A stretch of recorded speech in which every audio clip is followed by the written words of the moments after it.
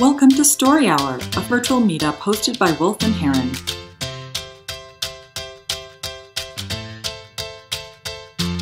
I'm a very positive person, I think, and I wanted to tell this very positive, beautiful story that I actually think I might have already told here at the um, story hour. So there was maybe another reason that helped me back to tell this story again. But the story that I wanted to tell was about this park bench, the rolling hills in Germany.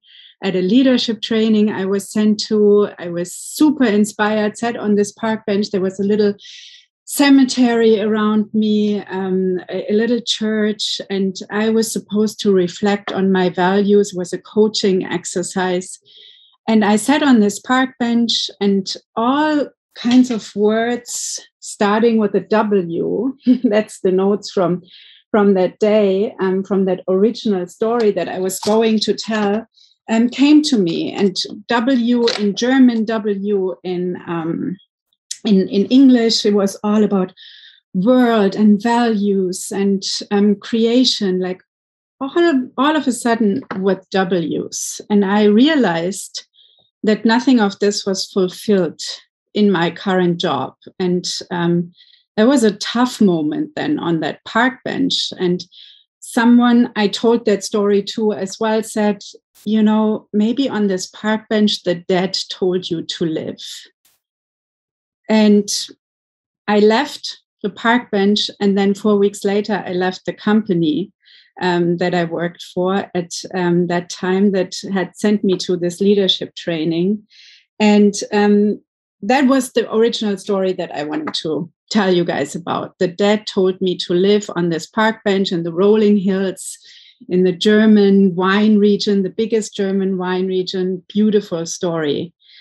And now you got to imagine that feedback sound from a concert, you know, that you get this like, and it's not um, such a positive story, or, but it reflects very much the moment of my why, or like it kind of pulled me back into reality. And that happened last week. Um, last week, I sent an email, um, actually a newsletter, to some of my former jo- German colleagues, you know, some of, of the people in my network. And it was about a, it, the, the email was about a remote leadership program, remote leadership in times of uncertainty. Because my home country, Germany, is currently very, very hard hit by the fourth um, COVID wave um, everything is like going crazy, going uh, well. The case rate goes up, and the um, mu- uh, mood in Germany goes totally down. And I really feel that employers could have done a much better job in preparing people with more resiliency, with more warmth, with more, you know, connection across distance and um, I think they just play a huge role in in in the pandemic in in general. So I put together this offer and I sent out my newsletter. And a day later or so, I wake up because of the time difference to an email from a former female colleague of mine who is in charge of leadership development in Germany in this company. And the email basically read, um, ah, Sonja, you, you've written such a beautiful newsletter. I like it so much. But may I offer some feedback? First of all, I'm always thrown a little bit off by that question when the feedback then comes. you know, like um, if you if you actually are not really asked a question, if you if you want to have the feedback, and then she went on and she said, you know, Sonja, and I also this also for a colleague of yours you have such a warmth and you display such connection in the way you write. I'm like then really thrown off if then there is an offer that you have to pay for when there is so much warmth before in your email and when you reflect this closeness to people and this human approach to your work. How can you then you know offer me something to pay for so we're talking about a billion dollar multinational company here. You know, we're not talking about like a little um, NGO or nonprofit organization that I sent this email to, but to a former female colleague of mine who is in charge of leadership development and probably also women empowerment. And I was like, oh, this is my why. You know, my why is to bring back humanity into leadership and to organizations and show leaders that being human and being connected and being warm is not an opposite of business. and I was so, you know, taken away by this. I was so much like, oh God, this is what we're talking about. This is, you know, we have to go so far back. If even someone who deals with these topics day by day is um, almost offended by me charging for a service to do actually exactly that, you know, to bring back a more human approach to work, then that is my moment of my why. Instead of the, the, the very positive rolling hills um, story all about the values. So um, yeah that is what i then decided for to tell you this story about um, about this email yes thank you Lovely. It was wonderful to have you back, Sonja. Okay. Thank you, Kara. Let's see. What was what was powerful about that story? What should Sonja hold on to? Well, I'm um, I'm kind of amazed at the objection that you received. Just that somebody could be so philosophically ungrounded as to think that way. You know, and she's probably not good at her job or qualified to do her job if that's really the way that she thinks because if she's involved in um you know like leadership training and women's empowerment and then she's like oh you can be nice or you can charge money for your services but you can't do both uh anyway i think that i think there's a lesson in that obviously that validates what you do as I understand what you do. So you could really continue to draw from that over time, I think.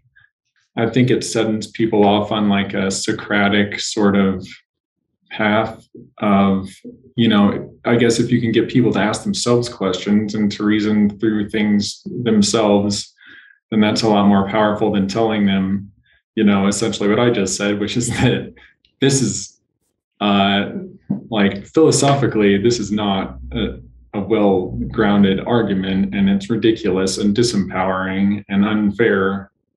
So, but like that's a kind of story that can cause people to ask themselves questions that they should be asking and draw their own conclusions. And it does cause me to like ask myself myself questions that I've maybe asked um, before, but you need to circle back to, you know, whoever you are. Mm-hmm. Nice. Thank you very much, John, for that feedback. I'm glad it made you ask yourself questions. That's powerful. Yeah, it seems like there's a really nice connection there between um between like exactly what John was saying of so many businesses now are it seems trying to move in the direction of telling stories and looking for impact and wanting to be like person focused instead of something else focused whatever it was before. Um and still is in a lot of places and so i think that's a really good thing um like a very good sort of grounding point to discuss you know how you think about it and how you get to where you are. And um, I think there's definitely definitely an intersection um, if we're talking about women's empowerment, which I know is like just a small, small sub part of the whole story you shared, but of you know whether women get to choose whether to be nice or ask for things, um, and whether we get to choose whether to you know I have another thing, but I think it comes back to like whether to be nice or to ask for or to properly value our time and our services and that can be really difficult um, so i think there's some pretty cool intersections there that you could explore further and that would lead really well to to talking about um talking about a few different things depending on where you want to take it. Okay. Cool thank you. Yeah, I think what they're bringing up is some of what I found really appealing about the story is that. Uh, so I think great stories often come from scenes or moments that are that are vivid. But what I appreciate about actually both of the ones that you mentioned, the rolling hills and then the email, is that the moment itself is stepped back quite small and very, very much in your head and very basic and introspective focused versus like this whole, whole ordeal happened. And I think that the fact that you're able to do that, though, is quite powerful because the challenge, the conflict is in you and you're experiencing it. And I think that's part of what is creating this then. What's resonating with us listening is introspective for us too, as we're putting ourselves in your shoes of, of having sent that email and received that response. And so I think the fact that you can take something that is uh, introspective and find a moment for it is really cool. Um, and you also like, I just do want to point out one delivery moment that you did, Sonja. You, I think it was when you received the email, and then you said, and then I took a breath or something like that. And then you you physically took a breath i think that's really helpful just to have just to have a little bit of a moment like that i think people are often afraid of that when telling stories um, and sharing something. And it just helps us feel it a little bit more. It helps us catch up. And so that type of thing i think can be really really powerful within a story. Um, so yeah it was kind of it was kind of fun listening to it. And then meanwhile, like Neha in my head, so I'm going to switch us to the experimentations. I think both of these stories have the potential to be, in a way, go to stories of yours that you can use to answer the question of why did you start your company? Why are you in this business? And you could also use to answer a variety of other questions. And you could also use in your coaching and in your work to describe some of the dynamics that are going on within organizations. And in that case, if you, as you evolve the story and have different versions of the story, I think what you would want to do then is add in a little bit more of the the details maybe of what you were thinking or a little bit more of the so what for you so you receive you receive the email you have this reaction you're thinking through it and you're like this is why and then meanwhile can you hint at some element of of what the change could be mm-hmm. or how we could try to show up to not accidentally be a person who would send an email like that other person sent and make you feel like you felt in that moment. That's where i think uses of that story. Very good. Yeah. Yeah. I i feel that. I know what you mean. Very good. Yeah, yeah. Um, other thoughts for experimentation or things that you're still curious about or want to hear more of i feel like if you tied the two stories you could tie the two stories together more seamlessly and make uh, the point a little bit more resonant you know because um, I don't know. They they were both good stories, but they didn't they weren't seamless. If mm-hmm. If that makes sense. And I understand the relation between them and stuff, but uh, yeah, that's all.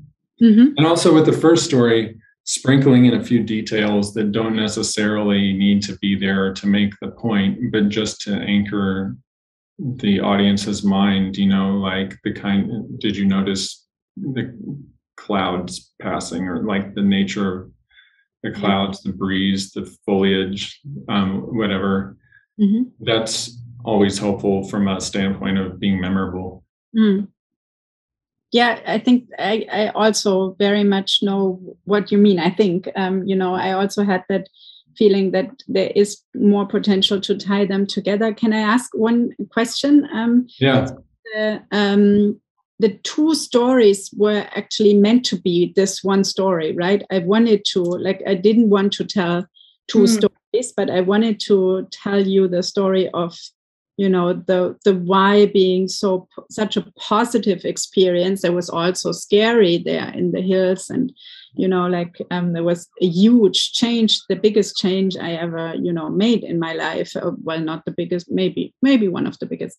Um, but i meant to you know tell that story what what happened on the one hand and what happened um, then as the next story, how the story evolved um, from there. And I wanted to make that one story. Was that um, because you were all talking about the two stories? Mm. That, hmm. obviously, that wasn't too clear that that was meant to be that way, right? So there's definitely potential to tie that more. Mm-hmm. Or to. I, I mean, they definitely both felt like the answer to the prompt.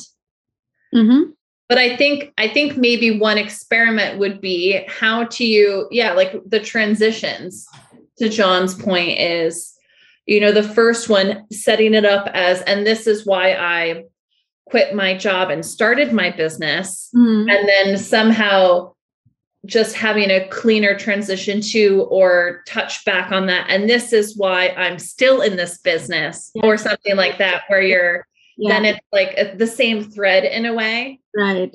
Yeah. So my big recommendation was going to be that um that I don't know Sonja if you and I have like met on this before but I don't actually know what your business is. So my big recommendation was going to be mm-hmm. I would love to hear about it. Um and I think putting an explanation of what business you're in now between mm-hmm. what we've been referring to as the two stories yes but let's call them these two moments, like these two pivotal moments, putting an explanation of what you do between those two things, I think would actually help with that a lot because then you have a reason to talk about it, to fill everybody in on backstory, um, and then take us through to this email and and that I think is can be your transition really easily there. Mm-hmm very good point. Yeah you're you're absolutely right. So i started with this. I'm a very positive person but may, maybe then i should have said i work as a coach and consultant and i'm in this business to teach leaders and um, yeah. Mm-hmm. very good. Mm-hmm.